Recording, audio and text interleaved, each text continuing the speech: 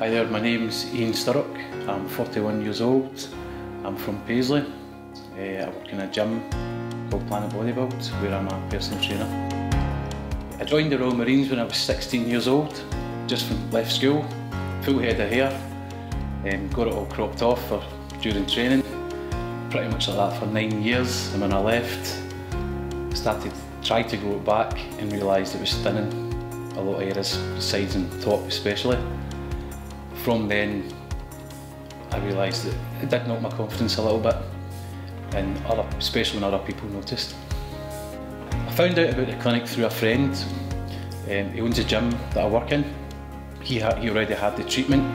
I noticed there was something different about him, but it was, I would never have known until he told me.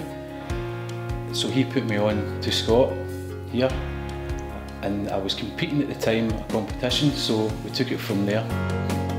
Treatment that I had is called microscalp pigmentation.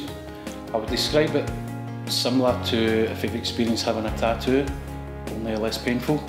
Um, very quick as well. I, I thought it would take a lot longer than it did, but it was quicker. And I would describe it as similar to it's kind of therapeutic, like a massage to the head more than more than pain. Staff at Vinci are absolutely fantastic. I would class them as friends. They couldn't have been more helpful. They explained everything exactly how it was. And I, as I say, I consider them as friends now, so it speaks for itself.